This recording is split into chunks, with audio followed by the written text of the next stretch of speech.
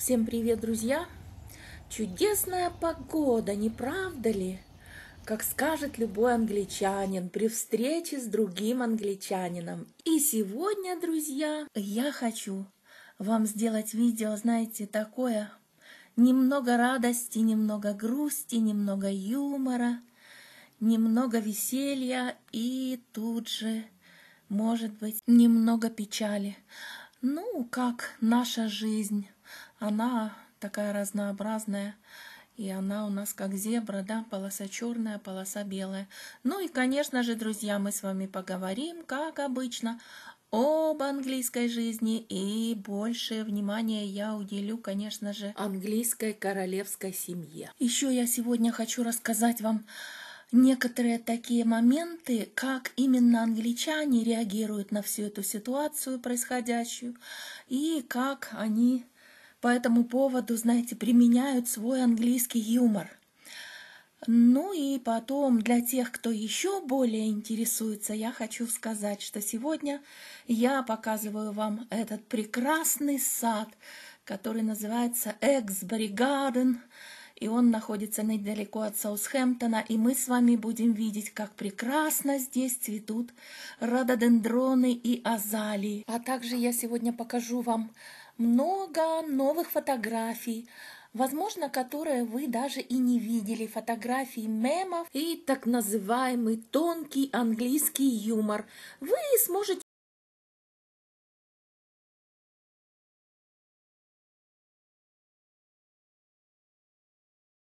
И начну я с коронации короля Карла III. Как много странностей, курьезов и мемов было на этой коронации. Долго-долго выбирали день коронации короля Карла III и королевы Камилы. Наконец-то провозгласили 6 мая 2023 года. Знаменательный день. Кроме того, что это день рождения внука Арчи, сына Гарри и Меган, это еще и мистический день с момента смерти Елизаветы II. Прошло шесть месяцев, шесть недель и шесть дней. 666. Чем руководствовались организаторы? Абсолютно непонятно. Ну, оригинальностью так уж это точно. Ну, раз уж вы выбрали эту дату, так и получите. Началось с того, что корону весом 2 килограмма 300 грамм, глава церкви Англии Джастин Уэлби чуть не уронил и едва сумел надеть на голову короля Карла. И только со второй попытки, буквально накручивая ее на голову, Джастину Уэлби удалось корону водрузить на место. Он даже присел, чтобы посмотреть, ровно ли сидит или не упадет ли. Но это, как говорится, еще полбеды. Вот когда стали надевать корону на голову королевы Камилы, то тут случился еще более серьезный курьез, потому что Камила сама стала поправлять на голове эту корону. А это очень большая ошибка. Вообще никогда нельзя никому из монарших особ прикасаться к короне на своей голове, тем более в такой серьезной церемонии, как коронация. Кстати, друзья, я вот сказала, пытались надеть корону на голову, а может быть правильно тут сказать одеть корону на голову Камилы. Поправьте, пожалуйста, меня, те, кто очень сведущ в русском языке. Не обошлось и без традиционных падений членов королевского караула. Вот много на фотографиях можно найти в интернете, потому что это был не единственный случай. А также случилось во время проезда короля и королевы в карете, что одна из лошадей очень испугалась, попятилась назад, встала на дыбы, сломала металлическое ограждение, врезалась в толпу, и в результате пострадала женщина-полицейский. Конечно же, невозможно забыть эту странную фигуру, всадник смерти с косой, как здесь называют ее, или коситель, э, в общем-то, очень похожа на наше изображение смерти с косой. Когда стали выяснять, в конце концов, что это было, откуда вообще взялась эта фигура, кто-то говорит, что это прошел какой-то работник собора, кто-то говорит, что это пришла одна из друидов, женщина-друид в плаще, хотела поздравить короля, но не попала к нему. Но факт остается фактом, очень странная, необъяснимая фигура, похожая на смерть с косой. Ну и еще, конечно, не остался незамеченным тот факт, что целый день 6 мая во время коронации – шел нескончаемый дождь, и опять вспомнили заклятие принцессы Дианы, предсказания, так сказать. Вот стали появляться вот такие вот черные мемы. Здесь написано «Tell Charles, I want him to know it was me». То есть скажите Чарльзу, я хочу, чтобы он знал, что это была я. Вот. И, друзья, я уже говорила как-то о том, что когда-то сказала принцесса Диана при разводе с принцем Чарльзом. Она в сердцах ему сказала, что видела она такой сон или ей было видение какое-то, но она сказала, что «Я знаю, что ты не переживешь свою мать, а если и переживешь, то все равно тебе никогда не быть королем». Ну вот и получается, что сбывается предсказание принцессы Дианы, потому что, несмотря на то, что Принц Чарльз все-таки был коронован и стал королем, но опять же ходят упорные слухи, что он уже знал о том, что он болен, и болен очень серьезно. И вот спустя год всего лишь навсего его правления он сообщил о том, что он борется с заболеванием очень серьезным, и очень агрессивной степенью рака. Так вот, тут опять, вы знаете, пошли, я вам по секрету скажу, не все даже знают об этом, но это, как бы, знаете, как у нас есть WhatsApp, очень часто пересылаются вот такие вот сообщения друг другу, откуда они вдруг появляются, непонятно.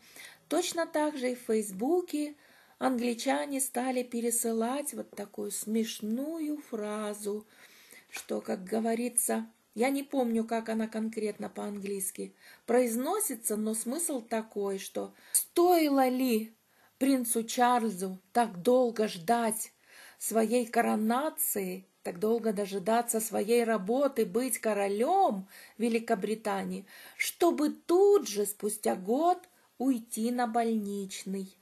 Ну, вот такая вот очень грустная ирония. Ну и тут надо вспомнить опять, что э, принца Чарльза вообще не очень так как-то воспринимали и не очень жаловали британские граждане. Ну и постоянно такие вот смешные какие-то были шутки по поводу его внешности, кстати. Посмотрите на эту кружку, как смешно здесь обыграна лопоухость принца Чарльза. Не остались незамеченными и его вот такие вот толстые пальцы, когда он держал их на Библии при коронации, клялся на Библии, то тут же не применули показать эти толстые сосисочные пальцы – вот в таком юмористическом виде, посмотрите. Какие смешные шаржи стали появляться. Все больше и больше, как говорится, свобода слова на лицо. Ну и не обошлось, конечно, без шоу двойников.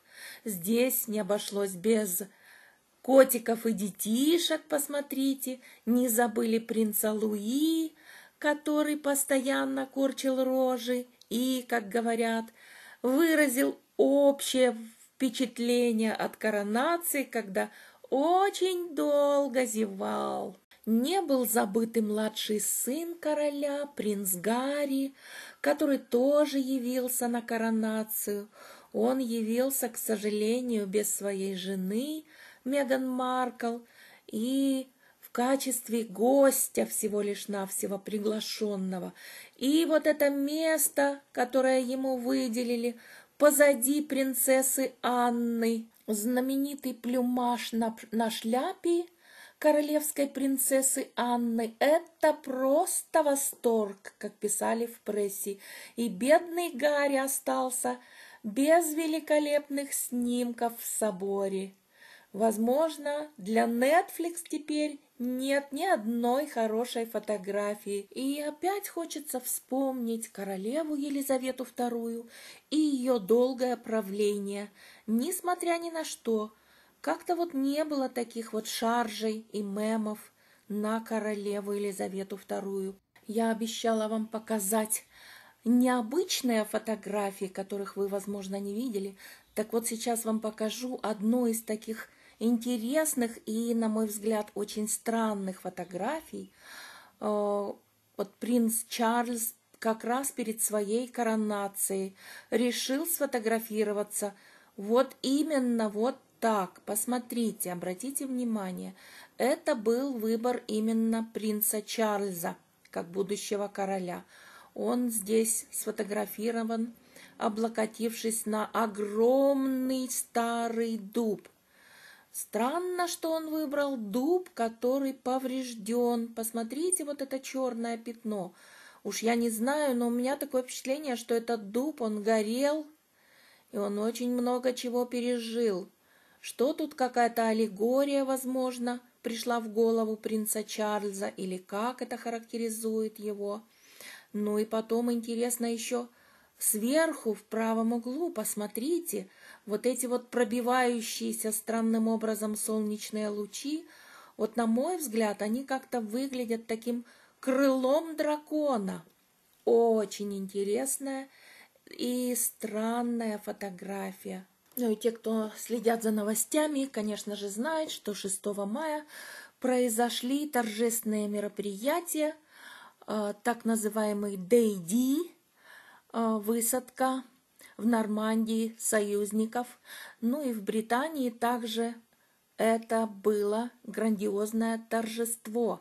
И вы знаете, что как раз здесь рядом, буквально рядом с островом Уайт, напротив, через пролив, вот мы могли видеть такое чудесное шоу самолетов в небе над нами. Я вот такую ошибку совершила, вы знаете, оплошность, наверное. Я, конечно, видела, это было 30 минут, шикарное, грандиозное шоу.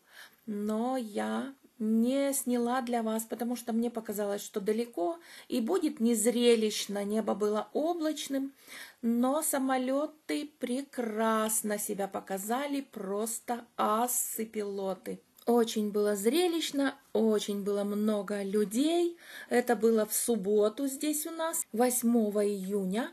И в конце этого шоу так классно нам самолеты нарисовали своим красным следом пушистым огромное сердце на небе и помахали крыльями. На церемонии присутствовало очень много иностранных гостей.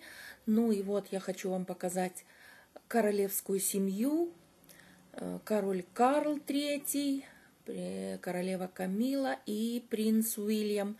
Выглядят они как-то очень невесело, потому что снова не было принцессы Кейт.